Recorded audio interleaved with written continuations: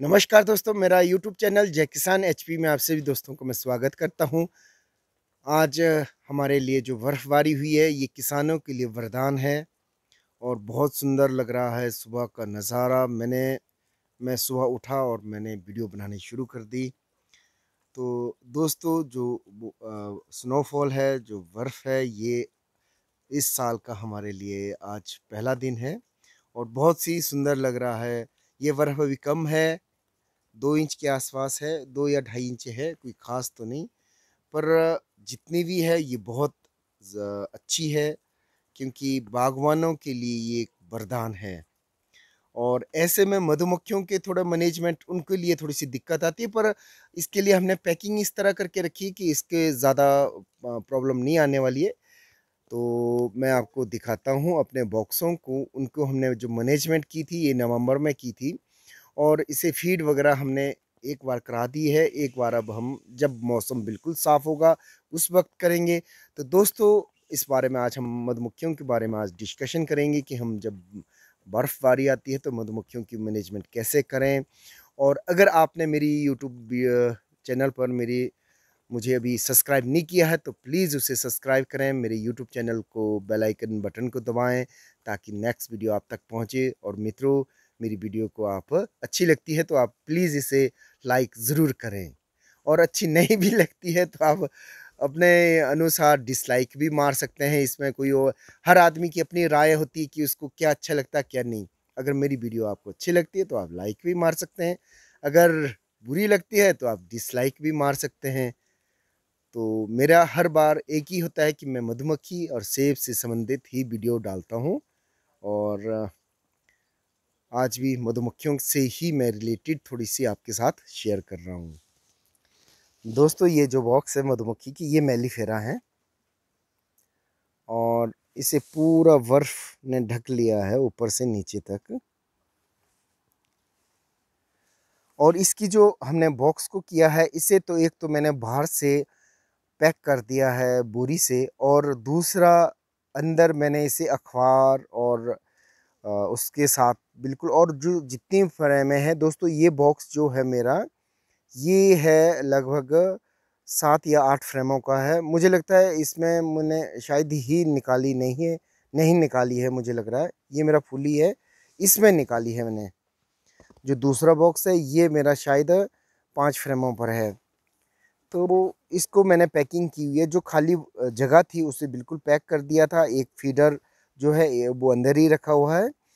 और इसको बिल्कुल पैकिंग दे के रखी हुई है। आगे की ओर से बर्फ़ ज़रूर आया हुआ है। मुँह इनका बंद हो गया है आज, पर इतना भी नहीं, थोड़ा सा खुला है।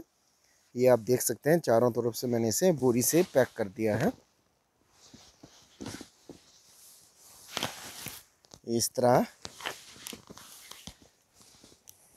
ये भी बिल्कुल बोरी से पैक है, ताकि इसके अंदर जो है नमी ना आए। अगर हल्की फुल्की नमी तो आएगी, क्योंकि जो इसका सांस द्वारा जो मोस्ट अंदर बाष्पीकरण होगा सांस का, उसकी नमी तो आ जाती है। और इसको मैंने मैनेजमेंट किया है, अंदर अखबार डाली है, और साइडों में मैंने इसको पैकिंग दे के रखी हुई है अखबार की ही। अगर किसी के पास थर्माकोल होता है, वो थर्माकोल भी डाल देता है। मैंने इसे अखबार डाला है और ऊपर से भी अखबार डाली है वो कर सकते हैं। और इसका एक फ़ायदा ये होता है कि आपको जब अखबार डालते हैं तो वो मॉइस्चर को सोख लेता है। और आप उसे, अगर उसे ज़्यादा गिल्ली हो गई है तो आप उसे जब उसी वक्त खोलें जब आपका बॉक्स गर्मी, आपको लगता है कि दिन को ठीक गर्मी है, धूप अच्छी है, उस दिन इसको थोड़ा सा सफ़ाई वगैरह करके उसको, और वो भी आपने ज़्यादा नहीं, सिर्फ़ सिर्फ़ एक मिनट के अंदर आपने एक बॉक्स को पूरा चेक करके, पूरा सब कुछ करके उसको सफ़ाई करनी। और आप इन बॉक्सों को अपना पैकिंग करके रखें और इन्हें एक बार चीनी की फ़ीड ज़रूर खाना। है चीनी आपने जब लेना है तो एक बॉक्स के लिए लगभग एक किलो चीनी करके उसमें लगभग आपने 250 ग्राम और वो भी आपने गर्म, बिल्कुल गर्म पानी डालना और उसको बिल्कुल घोल करके उसकी फ़ीड करनी है। और ताकि बॉक्स का जो टेम्परेचर है वो कम ना हो।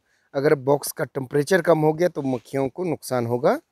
और हैरानी की बात तो दोस्तों इस बार ये है कि इस बार कोई ख़ास ठंडा तो मुझे नहीं लगा, मधुमक्खियों के लिए हुआ। और इनकी एगलिंग कुछ दिन तक, एगलिंग क्वीन जो है, एगलिंग दे रही थी। ये एक अच्छे संकेत थे कि क्वीन काम कर रही है। और इसके लिए मैंने पोलन भी दे के रखा हुआ पीछे, नवंबर में। और पोलन भी इनको मैंने जो पोलन लाया था, वो पोलन भी ख़रीद के इनको पीस करके रखा और इन्होंने वो उठाया गया और मेरे बॉक्स जो है अब स्ट्रॉन्ग है और आज अगर धूप लगेगी दिन को तो ये ज़रूर निकलेगी। एक खासियत ये है इनकी कि ये है मेलीफेरा पर ये ढल चुकी, दोस्तों, जो सर्दियों में मैनेजमेंट होती है वो सबसे बड़ी पहली पैकिंग होती है, दूसरा हमारा छेद बंद करना होता है, तीसरा हमें इसको भिगाने से बचने के लिए हमें चारों ओर से बोरी या कुछ इस तरह रखना होता है कि ताकि वो सूखे में रहे। और चौथा, हमें अगर बाई द आपको लगता है कि उसके अंदर खाने के लिए नहीं है फ़ीड शहद कुछ भी नहीं है तो उसे आप एक बार फ़ीड ज़रूर कराएँ। फ़ीड का यही है कि आप उसे एक किलो चीनी में ढाई सौ ग्राम पानी डाल करके उसे गर्म इतना करना है कि आपने लगभग वो तीस पैंतीस सेल्सियस का टेम्परेचर बना रहे और उसको अच्छी तरह उसमें चीनी ना रहे, उसमें पूरा उसे गाढ़ा करके और अगर उसको लगता है कि आपको मक्खियाँ थोड़ी कमज़ोर हैं तो डूब जाने का खतरा है तो उसमें आप लकड़ी डाल के रखें ताकि वो डूब करके ना मरे और वो आराम से उसे खा सकते हैं। और ये मैंने मैनेजमेंट किया हुआ है और इसका छेद बंद करना, अखबार, पैकिंग, चारों ओर से अखबार वगैरह ये चीज़ें करके रखेंगे तो आपकी मक्खियाँ सर्दियाँ काट लेगी।